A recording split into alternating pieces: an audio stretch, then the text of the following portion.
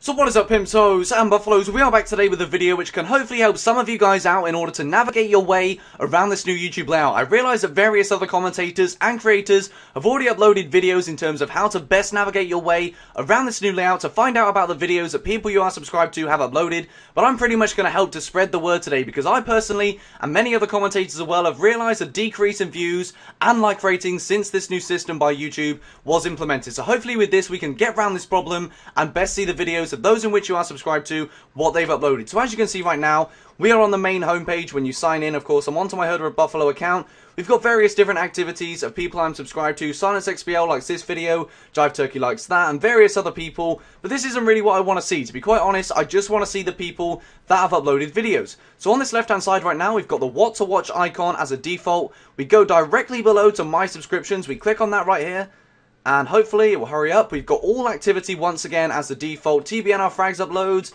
vintage comments, Fearcraz likes, and I don't want to see this once again. I just want to see the videos. So on the right hand side of all activity, we have uploads only. So I click on uploads only, and once again, similar to the old YouTube layout, we've just got a direct list going right down on the home page that says TBNR frags uploaded 2 minutes ago, Bon Figgy uploaded 18 minutes ago, and it pretty much works exactly the same way as it has done previously. But I don't believe this is actually the best way to see the videos of your subscriptions. The best way to go about this, this is just one option on the My Subscriptions tab on the left. The best way, in my opinion, to go about this is to go to the right-hand side on your channel drop-down. We've obviously got My Channel, Video Manager, Inbox, and Subscriptions. Subscriptions is what you want to click on. Click on that right there and you get this grid right here with four videos in each row. And as you scroll down, you see lots and lots of videos of people you are subscribed to. We've got various different videos right here.